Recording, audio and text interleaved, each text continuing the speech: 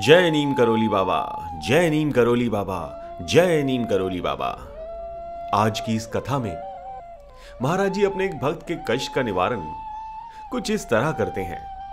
श्री प्यारेलाल गुप्ता जी की पत्नी बीमार पड़ गईं। प्यारेलाल जी की पत्नी का सारा गला सूज गया और गले तक फफोले से पड़ गए।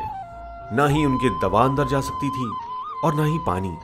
और मुश्किल की बात तो यह थी कि किसी दवा या किसी इंजेक्शन का कोई असर नहीं हो रहा था।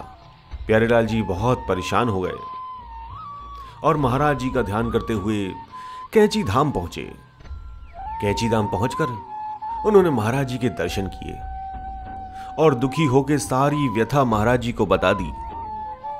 अच्छा उसी समय महाराज जी भक्त द्वारा लाई गई कचौड़ी अपने दांत से काट रहे थे। और प्यारेलाल जी की सारी व्यथा सुन रहे थे। सुनते सुनते महाराज जी ने वो कचौड़ी प्यारेलाल जी को दे दी। कहा कि लो, जा, इसे माई को खिला दे, सब ठीक हो जाएगा। पर प्यारेलाल जी ने महाराज जी से कहा, महाराज, वो तो पानी भी नहीं निकल सकती। ये सुनकर महाराज जी ने ज़ोर देके कहा, जाओ खिला दो, सब ठीक हो जाएगा। बड़े लाचार होकर गुप्ता जी उस कचौड़ी को लेकर बरेली वापस आए और अपनी पत्नी को दी। उनकी पत्नी भी महाराज जी की परम भक्त थी। उन्होंने उस कचौड़ी को अपने माथे से लगाया और धीरे धीरे खाने की कोशिश करी।